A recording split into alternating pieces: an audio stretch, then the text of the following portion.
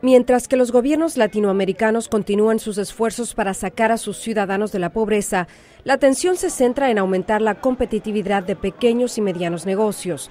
Representantes de ambos sectores en Ecuador estuvieron en Washington para hablar de sus retos y avances en la materia. Cuatro años atrás, la, redistribución de, eh, que se tenía en el Ecuador era demasiado marcada. Lo sigue siendo pero creo que hemos, eh, como hemos visto las estadísticas que, hemos presentado, eh, las hemos venido eh, disminuyendo drásticamente. Eso quiere decir que sí se tienen que tener políticas, políticas públicas, sociales, productivas, etcétera, en donde tenemos que apoyar muy especialmente a la gente que no ha tenido la oportunidad, por ejemplo, de obtener eh, un crédito, de obtener eh, eh, capacitación. Los expositores destacaron que una de las claves en su país ha sido y seguirá siendo el fomentar el diálogo tripartito entre trabajadores, empleadores y gobierno. Otra sería la organización de las llamadas mesas sectoriales, 14 ya establecidas y 8 más en puerta.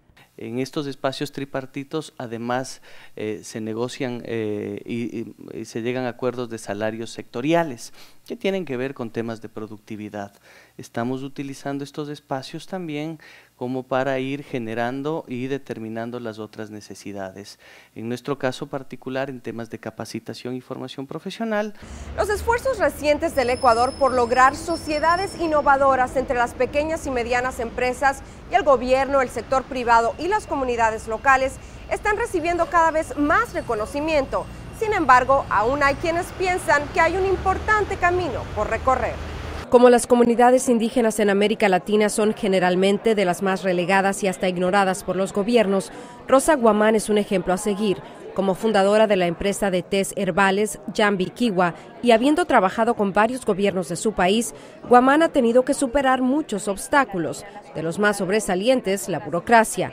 Ella cree que aún se necesita más apoyo del gobierno, incluyendo al del actual presidente Rafael Correa. Está apoyando está apoyando, sin embargo, también creo que nosotros fuimos una iniciativa que demuestra que los pobres, los campesinos, en especial las mujeres, no somos dignos de lástima, sino somos dignos de ser vistos como personas humanas y que tenemos capacidades para desarrollarnos y para crecer, y para hacer crecer un país. Desde Washington, Liliana Henao, para La Voz de América.